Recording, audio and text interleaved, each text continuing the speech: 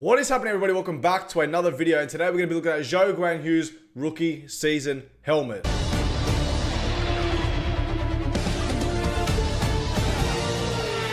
Yo, thank, thank you, Daniel. Uh,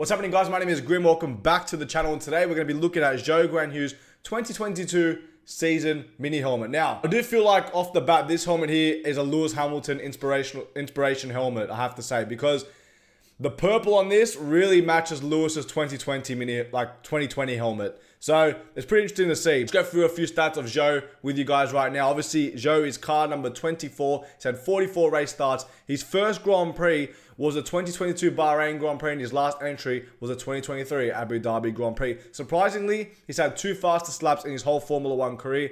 And a real massive memory for me and Zhou would have to be when he flipped his car at Silverstone. This little uh, rundown of Zhou Guanyu. He's a Chinese driver, first Chinese driver to ever enter Formula One, which is pretty remarkable coming from China to actually do that and you know, um, you know, making it in the sport of Formula One. I guess to be a Chinese driver, you have to be so so exceptional, just like being an Australian racing driver, and to make the top motorsport in the world, Formula One, you have to be so exceptional that it's beyond crazy. Obviously, you have to move from your home country. And Zhou once spoke about that, how he had to move from China to Europe, and then the level of karting was just next level just to compete with these younger kids, and just it was um, a different level compared to China. And it's the same for Australia. You go to Australia, you can kart, and then the next level is Europe, and the European level is just so far above because so many people I guess are doing it. Obviously, karting today is a bit different. I feel like you do need uh you know a lot of backing and sponsorships, and you, you have to hope uh, a team like Williams, Ferrari, or for example McLaren can pick you up and you know bring you throughout your junior Formula career. Zhou had a bit of backing in the sense of uh, Formula One teams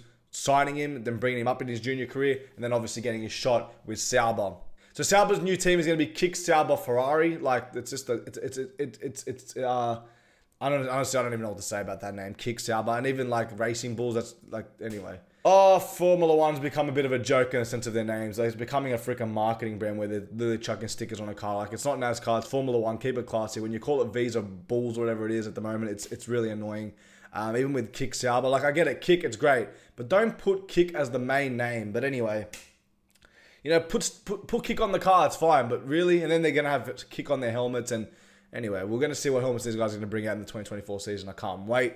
But um, yeah, just it's just I don't know. I feel like they're making Formula One very very Americanized. I'm not gonna lie, but anyway, is what it is. Okay, so today we're looking at Zhou's rookie season helmet. Now I'll give you guys a look at the actual helmet here, guys. Really awesome piece honestly one of my favorite helmets on the grid of the 2022 Formula One season. The side here where it goes hometown of Shanghai, that's really awesome, like the outlay of the city, and the back the Chinese flag and all the um, you know Chinese writing on the top of the helmet with all the Chinese patterns. Really, absolutely cool. He's also got the fluoro at the back too, as you guys can see with the uh, purple and white.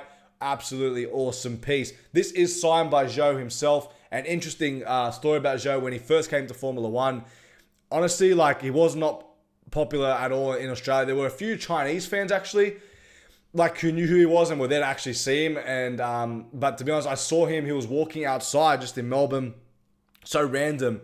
And I walked past, he was just wearing normal clothes. I'm like, oh shit, that's Zhou. And he was the first signature I got uh, during 2022. So that was pretty crazy, pretty interesting. So I, I didn't have a helmet obviously because this came out mid year 2022, but I had a photo and he signed that piece and he was pretty shocked. He was like, oh, that's cool. Like it was different for him, you know, signing autographs and I could just see in his face. And, you know, really nice guy, signs everything. But in 2023, he was more popular, more fans going up to him, and he had a few friends with him.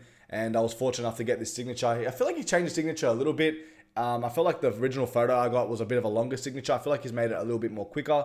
If I had to rate this signature out of five, I'd probably give it a two, maybe. Like if you look at that, honestly, like it's not the it's not the craziest signature I've ever seen in my life, not the nicest. But um, you know, still it's cool to have Zhou's signature on this helmet. I'm not going to complain. But in the sense of signature looks, I'd have to give it a, probably a two out of five. Yeah, we're going to rate this helmet helmet I really do love. Really cool rookie helmet to bring into Formula One. And I'm going to have to give it out of 10 a 8.5 out of 10 this helmet right here.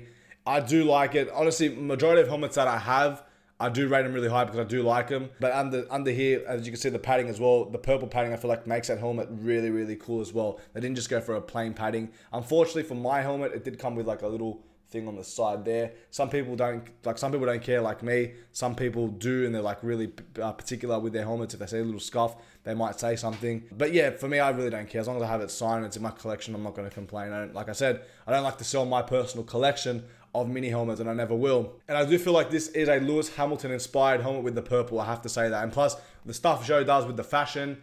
He braided his hair during uh, the summer break you know, stuff like that. I feel like, I don't know, I feel like Lewis is a real big inspiration to Zhou. And obviously, coming up in junior formula, seeing Lewis win all those championships, why wouldn't it be right? Someone you'd want to emulate winning multiple championships. So it's pretty cool to see. I do have to say, I've never had a bad experience with Zhou. He's really awesome, down to earth, signs everything. He is more popular now, I'm not going to lie, like in the paddock. And I'm and when he goes to China for the Chinese Grand Prix, it's going to be absolutely chaos because the Chinese fans really get behind this driver. They really like are really dialed in. Like they wear his gear, they bring the flags. They really love Zhou. So when he goes to China, I can't wait to see the reception he gets. It's going to be really, really interesting. So out of both helmets between 2022 and 2023, um, I do have to say his rookie season for me is the best helmet he's bringing out. We'll see what he brings out in 2024. This is the only Zhou helmet I do have in my collection because when I, when I'm not so keen on a driver in the sense of like I don't really care too much about, like not one of my favorites because everyone's got their favorite drivers and other drivers I don't really like I guess care about. Um, I only get like one of their helmets, if not maybe two. It depends, but just to say I've got two of them. But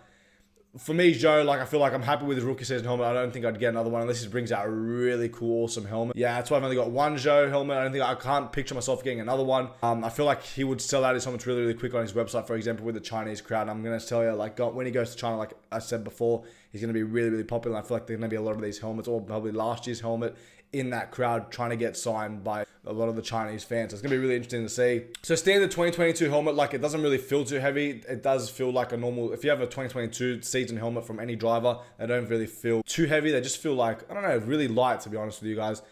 It's interesting because I feel like they made the helmets lot lighter back in the days in the early 2000s. Like I've done a Ralf Schumacher review and the helmets were really, really light compared to now. And then you have like, for example, Max's 2018 helmet, that's super heavy or some of the Ricciardo helmets are really, really heavy and they feel really good quality. Um, but I feel like Bell pumped out these helmets in 2022. Yeah, like don't get me wrong, they're really good quality in the sense of like you know the design and you know there's nothing really wrong with it besides that little scuff on the bottom or that little um, thing that's coming out. But that's just, I guess, a stitching defect on, like, you know, from the actual supplier, like Bell, the people that make them. And I'm pretty sure they get made in Bahrain, but I could be wrong. But I feel like that, I feel like I've seen that they been they get made in Bahrain. These mini helmets. All right, guys. Hope you guys did enjoy this 2022 Zhou Guanyu mini helmet review. If you guys did like the video, don't forget to subscribe to the channel. Follow the links down below. Instagram. Subscribe to the channel. I'm trying to hit. Let's hit a K, like hopefully before like mid year or something.